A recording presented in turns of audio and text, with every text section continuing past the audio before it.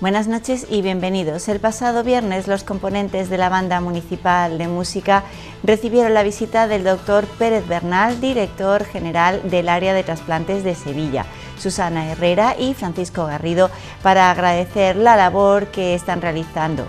Málaga se muestra como un ejemplo a seguir en, donación de órganos, estando a la cabeza de Andalucía, según ha asegurado el coordinador de trasplantes de Sevilla, el doctor Pérez Bernal, que asistió a una mesa redonda en Benalmádena. Y el pasado domingo, el párroco de la iglesia de Santo Domingo de Guzmán, don José Morales, ofició la, la, simbólica y entrañable bendición de mascotas con motivo del patrón de los animales, San Antón.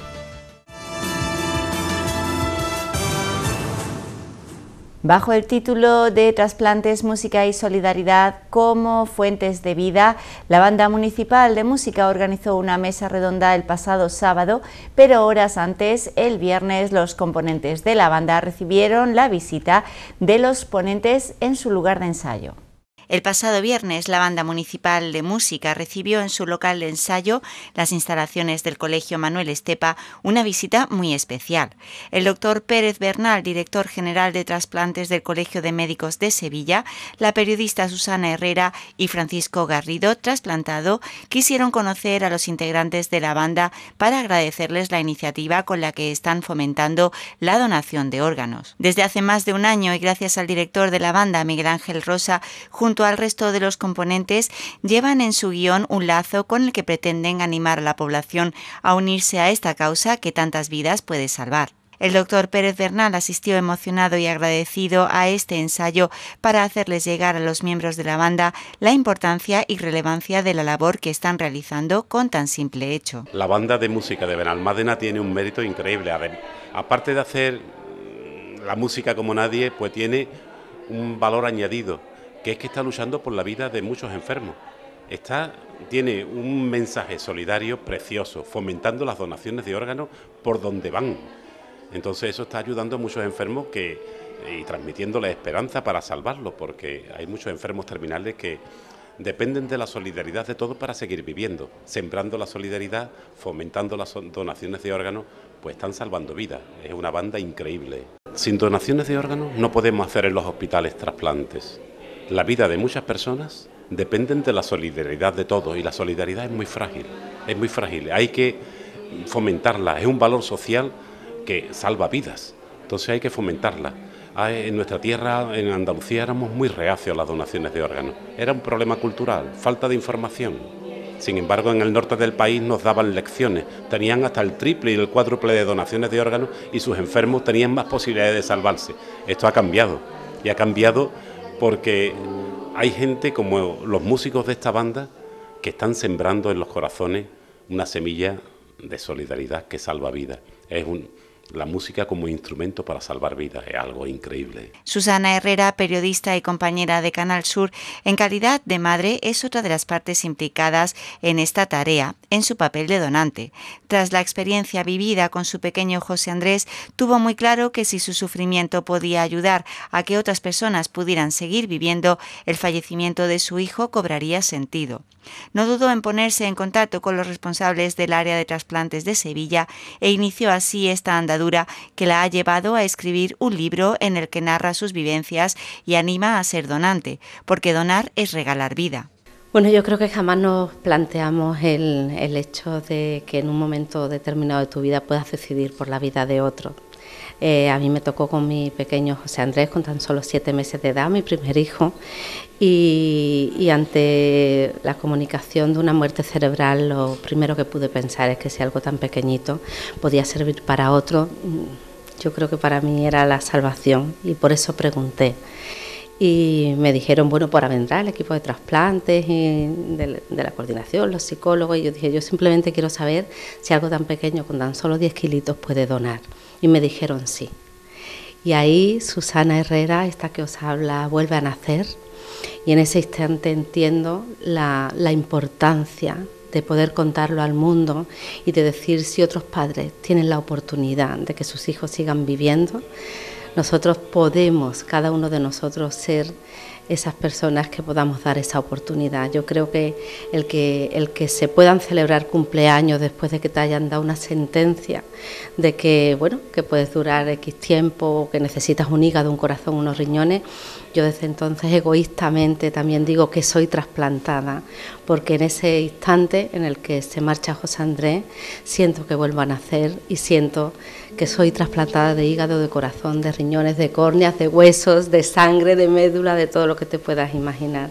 Para mí la donación ha sido una terapia, para mí la donación ha sido el, el saber que nos podemos marchar dando vida y que mañana tú o yo podemos ser los que esperemos ese, trasplante para seguir viviendo.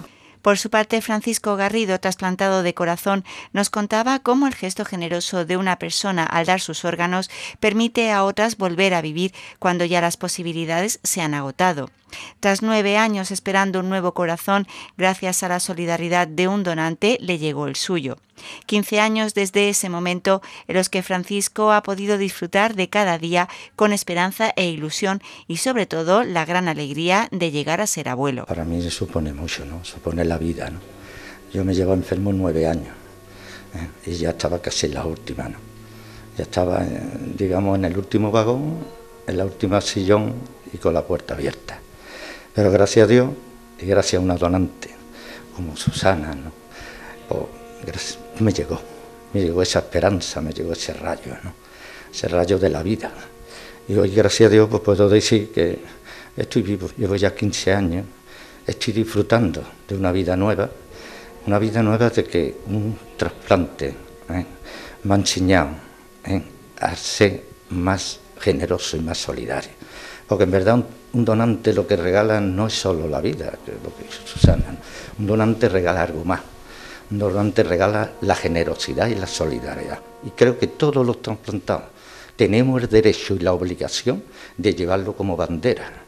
Por ejemplo, para mí, yo digo siempre que yo soy pelota de mi propia cicatriz, porque es al único que tengo que hacerle el peloteo. Y por eso yo me siento tan orgulloso de llevarlo siempre conmigo. Y ya llevo hecho muchos años. Y he vivido mucho, he disfrutado, he subido al Muacén para darle las gracias a ángeles como ellos, para estar más cerca, para demostrarle de que gracias a ellos estoy viviendo el día a día. Me levanto todas las mañanas dándole las gracias a las familias donantes, a ese. Y yo ya, lo más grande que me ha pasado es que eh, llegado un angelito ¿eh? después de nueve años enfermo, después de diez años que cuando subí al Moacir, cuando bajé al año siguiente, me llegó el angelito, me llegó un nieto.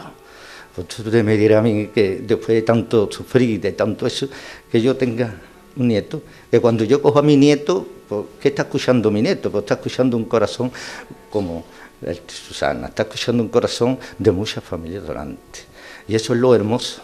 Y entonces mi nieto el día de mañana pues dirá, yo conocí a mi abuelo, gracias a una familia generosa y gracias a un donante. Pero la grandeza de la donación no es solo eso, la donación hay que lucharlo todo. Y hoy estamos aquí en Benalmátena, que yo me siento muy orgulloso porque también, también yo quiero mucho a Susana y el pueblo de ella, que ella sabe, yo quiero, la quiero mucho. Pero estamos aquí por una banda, unos luchadores porque para luchar, para poner un granito de arena en esta pirámide por las donaciones, para acordarnos de los que están, pero también nos acordamos de los que pueden llegar, porque eso no lo sabe nadie.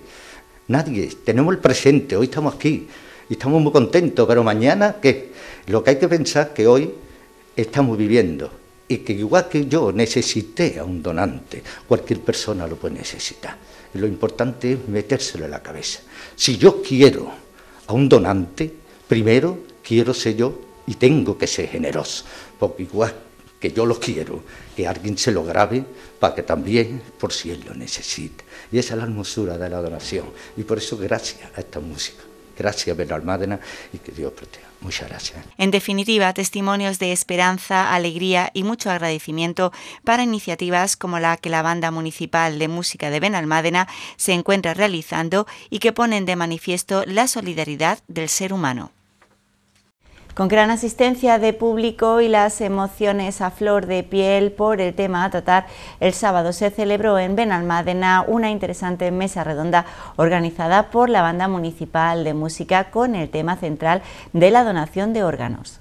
Tomar conciencia de la importancia de hacerse donantes de órganos fue el objetivo de la mesa redonda celebrada el pasado sábado en el edificio Ovoide, con la participación del doctor Pérez Bernal, coordinador de trasplantes de Sevilla, Susana Herrera, compañera de Canal Sur y donante, así como trasplantados y donantes que contaron sus experiencias de vida. Una mesa redonda organizada por el Ayuntamiento y la Banda de Música Municipal bajo el título Trasplantes, Música y Solidaridad como Fuente de Vida. La concejala de Educación, Cultura y Participación Ciudadana, Elena Galán, que inauguró la mesa redonda, destacó la iniciativa solidaria. Hay quien dice que para el ser humano, cuando alcanza un estado superior, es cuando realmente es solidario con el que tiene alrededor. Y yo creo que esta iniciativa es una de ellas. Nos hace solidarios y pensar sobre todo en el que tenemos alrededor más que muchas veces mirarnos tanto al ombligo que, a veces nos centramos mucho en nosotros, pero no en los que tenemos alrededor. Y esta es una iniciativa que precisamente lo que hace es pensar en los que tenemos eh, alrededor y que puedan tener una enfermedad que necesite de un trasplante de un órgano y nosotros nos podamos convertir en donantes y darle vida a esa persona cuando lo necesita. Galán además recalcó la importancia de la donación de órganos. Para tomar conciencia de lo importante que es que donemos órganos eh, en momentos que ya no nos van a hacer falta además y en otras veces como hay por aquí un caso que me han comentado que ha donado un riñón a su mujer y que eh, le ha dado también la vida a, a un familiar, ¿no? Eh, con lo cual hay casos, tenemos acompañándonos en esta mañana también donantes y trasplantados, con lo cual eh, quizás hacemos el círculo perfecto. Tras el saludo y agradecimiento de la responsable de la banda, María José Díaz, tomó la palabra el doctor Pérez Bernal, que destacó la importancia de la colaboración de la banda de música de Benalmádena en la concienciación de las donaciones, llegando a decir que la banda salva vidas. Además, el coordinador de trasplantes de Sevilla destacó que Andalucía es un lugar privilegiado en donantes. Andalucía ahora mismo tiene 51 donantes por cada millón de población y año el país, bueno, e, España tiene ahora 49 donantes por cada millón de población y año. Mira que en España somos 47 millones de habitantes. Mm, no pasamos de 2.000 donantes, es que esto tiene su techo, porque muy pocas personas al morir pueden ser donantes de órganos. Mm, entonces, esa cifra es la, la mayor cifra de donaciones de órganos en el mundo. Es que detrás de, de, España está Estados Unidos, con 32 donantes por cada millón de población. Claro, en números, bueno, Alemania tiene nada más que 11 donantes por cada millón de población y año. Allí no hay trasplantes. Estoy hablando de Alemania. Muy pocos en Reino Unido, en Europa, muy poco. Y en la mayor parte de los países del mundo es que no hay. No hay ni sanidad en muchos de ellos, ¿no? Andalucía ahora mismo estamos en un lugar privilegiado. Ya hemos superado la media la media. tenemos 51 donantes por cada billón de población y año. Entonces ahora mismo el español es la persona que si cae enferma tiene más posibilidades de recibir un trasplante. Eso es un privilegio. Y además dentro de una sanidad pública y gratuita. Eso es algo increíble en el mundo. El único país del mundo donde los trasplantes solamente se pueden hacer dentro de la sanidad pública y gratuita. No se puede hacer en la sanidad privada, por ley. Eso es un privilegio. Y lo caro no son los aviones que utilizamos, los quirófanos, los hospitales. Lo más caro de todo, el órgano nos lo dan gratis. lo más caro de todo, el tratamiento antirrechazo de por vida. Entonces es un privilegio. Pérez Bernal afirmó que Málaga está a la cabeza de las donaciones de Andalucía. Dentro de Andalucía, Málaga estaba en cabeza en donaciones de órganos. Siempre para todos todos teníamos una envidia de Málaga. Yo no sé bien por qué aquí había más donaciones y se hacían muchos más trasplantes que en el resto de, Andalucía. Quizás porque el contacto con los extranjeros, no sé, teníais la mente más abierta. En Sevilla es que no había donaciones. En Sevilla, en el año 2000 teníamos 21 donantes por millón de población y Tras la participación del especialista, fueron muchos los donantes y trasplantados que tomaron la palabra, contando sus experiencias, como el caso de Manoli, trasplantada de corazón, que tuvo problemas de salud desde muy pequeñita.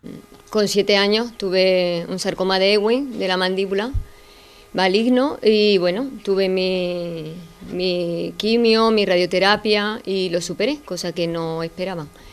Con 11 años por la quimio me dio un fallo multiorgánico, con lo cual también me salvé, que no iba a salvarme, y me dejó dañado el corazón. Seguí haciendo mi vida más o menos normal, con una medicación, y, nada, a los 20 años tuve a mi hijo, corrí un riesgo al quedarme embarazada, pero tuve a mi hijo, volvió a dañarse el corazón y ya no pude tener más hijos, ya era un, mucho más riesgo. Y bueno, seguí con mi vida, mi tratamiento, hasta los 42 años que ya volvió al corazón a decir ya, no puedo más.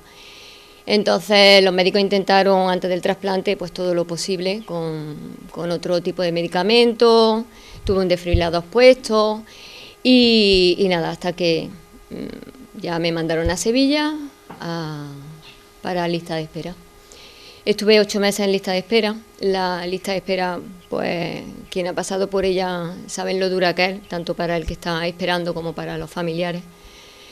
Porque siempre digo, mm, no hay enfermedades ni mejores ni peores, ni que se superen ni que no, pero cuando tú dependes de un órgano es muy duro. Es muy duro ver cómo tu vida se está apagando poco a poco, los que están a tu alrededor lo están viendo. Y va a tus revisiones y te dice, te operábamos ya, pero no hay órgano. Y vuelve a casa en mi caso, porque aún estaba en casa. Tu vida ya son ocho meses en lista de espera la que yo estuve, del sofá a la cama, intentando que te vean más o menos bien, pero no puedes.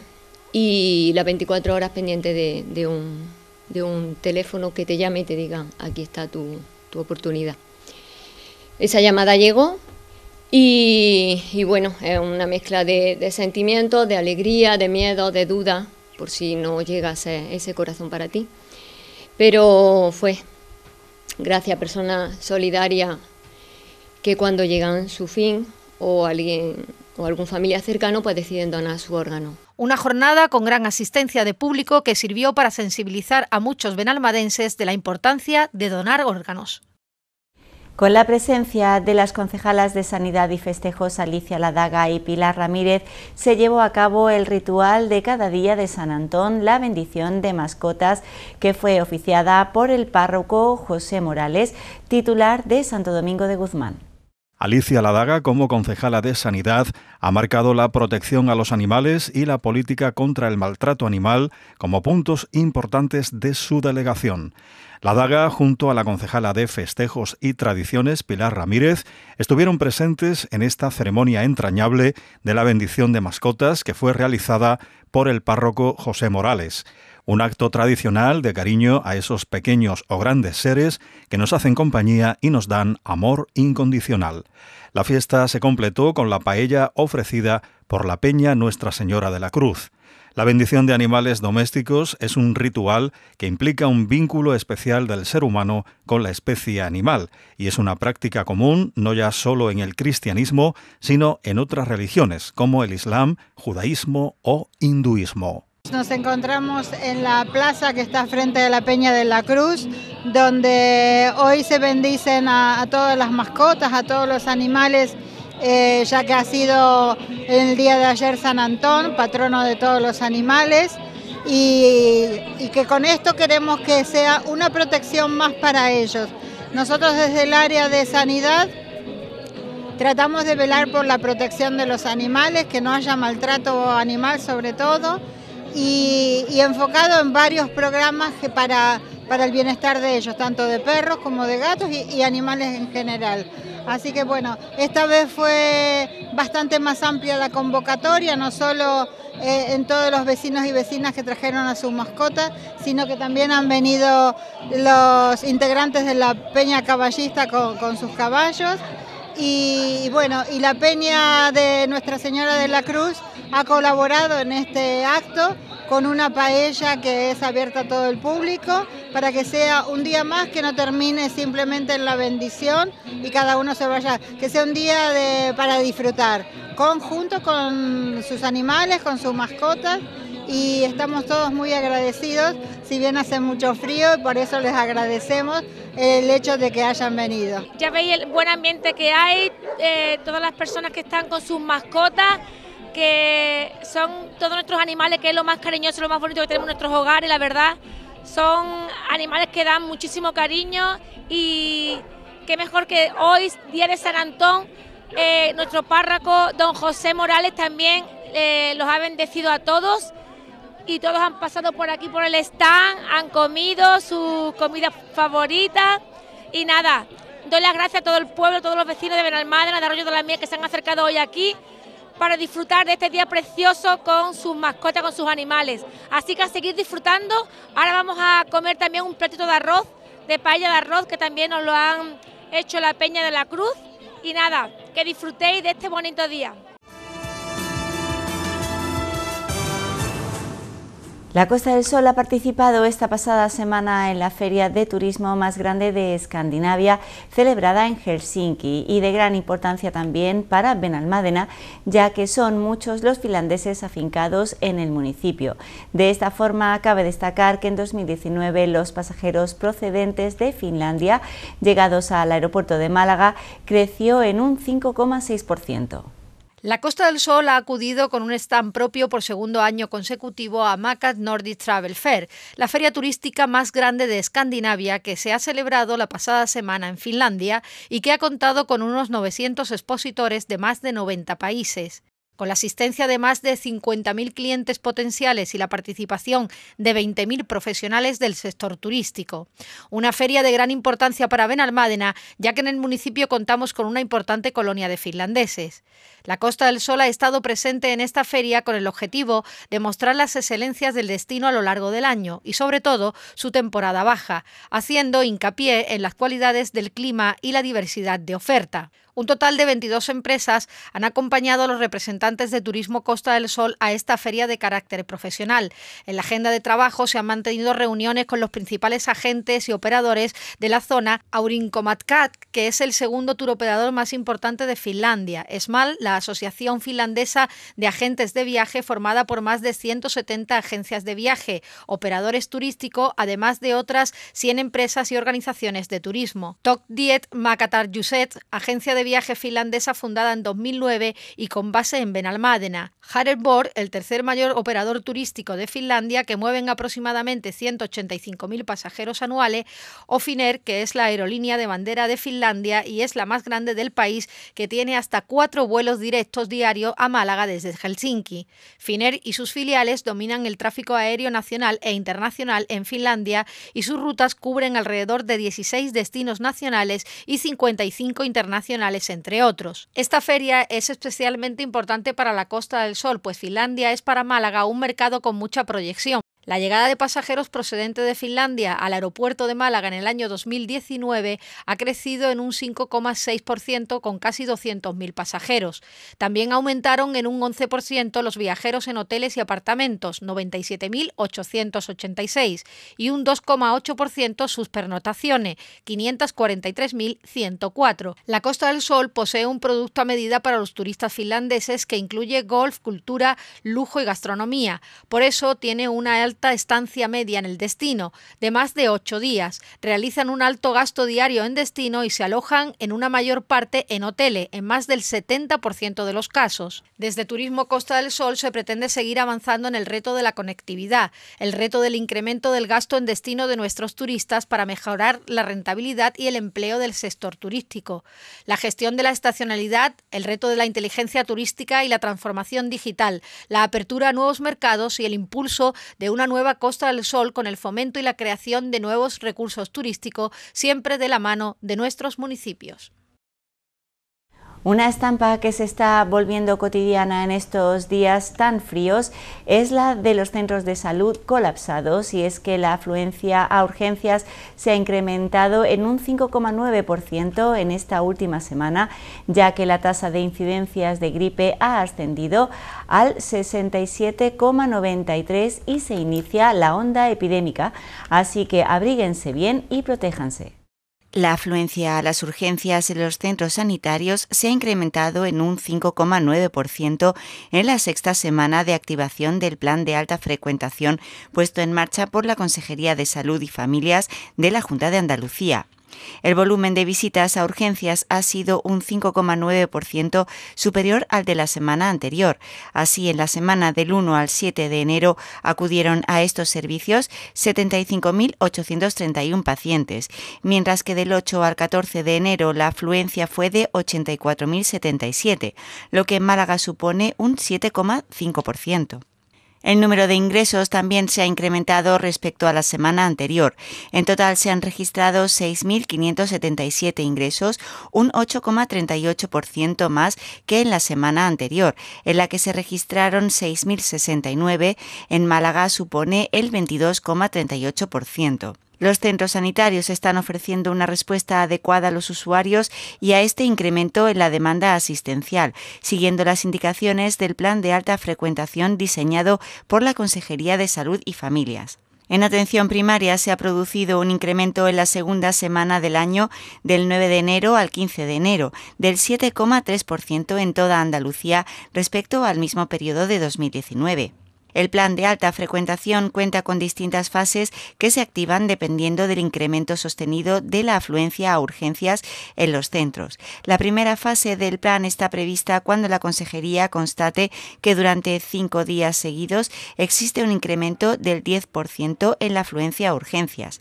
Las dos siguientes fases se pondrán en marcha cuando la afluencia de pacientes suba hasta un 25% y por encima del 25% respectivamente. Cada una de las fases implica la valoración del refuerzo de personal en los servicios que lo necesiten, así como el aumento de la disponibilidad de puntos de ingreso. La Consejería activará el plan de alta frecuentación en cada punto de Andalucía cuando las circunstancias específicas así lo recomiende. En cuanto a la incidencia de la gripe en la comunidad autónoma, se sitúa en 67,93 casos por 100.000 habitantes en la semana 2 de 2020, por lo que se ha superado por primera vez el grado epidémico situado en 40,75 casos por 100.000 habitantes. El portavoz del plan, José López Miranda, ha insistido en la importancia de la vacunación frente a la gripe como principal medida de la prevención, lo que también se traduce en una bajada considerable de posibles ingresos hospitalarios y, evidentemente, un descenso en las tasas de mortandad. Sobre el número de vacunas administradas hasta la fecha, en toda Andalucía se han dispensado un total de 1.144.565 dosis, lo que supone un incremento del 11,1% frente al mismo periodo del año anterior, cuando se contabilizaron 1.029.927 vacunas. La Consejería de Salud y Familias ha incrementado un 16% la dotación de personal para hacer frente al plan de alta frecuentación de los servicios sanitarios por la gripe. Así, el SAS contará con 2.617 profesionales sanitarios de refuerzo para hacer frente a la demanda al alza en los hospitales, centros de salud y servicios de urgencia. El aumento de contrataciones respecto a la campaña de la gripe de 2018 y 2019 es de 367, de tal manera que entonces los profesionales que se incorporaron fueron 2.250 y ahora son 2.617. Seguimos hablando de salud y en este caso del corazón, ya que el próximo miércoles el Ateneo Libre de Benalmádena acogerá como invitado al cardiólogo Antonio Esteban Luque, que hablará sobre los problemas cardíacos. La ponencia se desarrollará en el edificio Ovoide.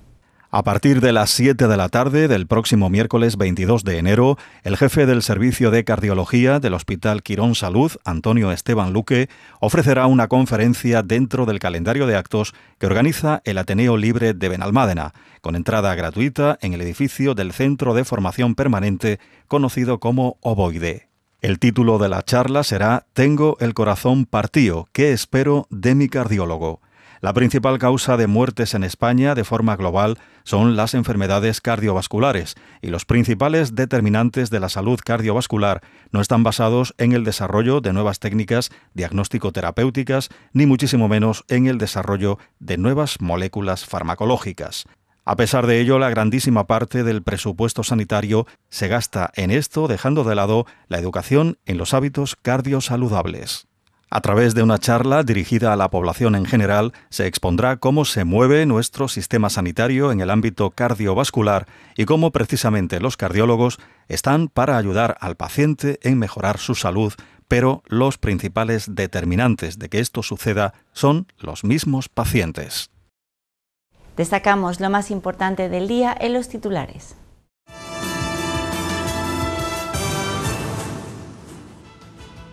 Una visita muy especial para la Banda Municipal de Música.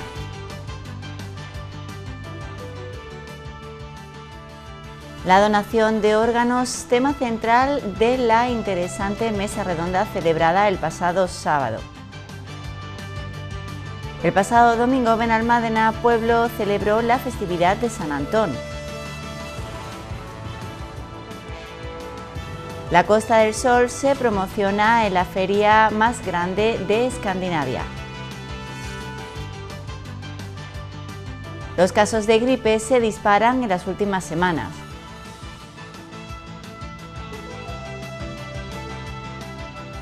El Ateneo Libre de Benalmádena ofrece una interesante charla sobre cardiología.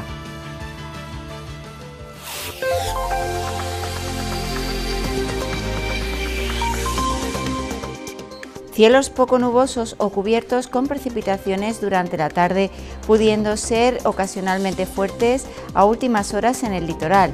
Las temperaturas mínimas en ligero descenso con heladas débiles en zonas altas y máximas sin cambios. Vientos variables flojos tendiendo a levante en el litoral a últimas horas. La temperatura máxima prevista será de 14 grados y la mínima de 7.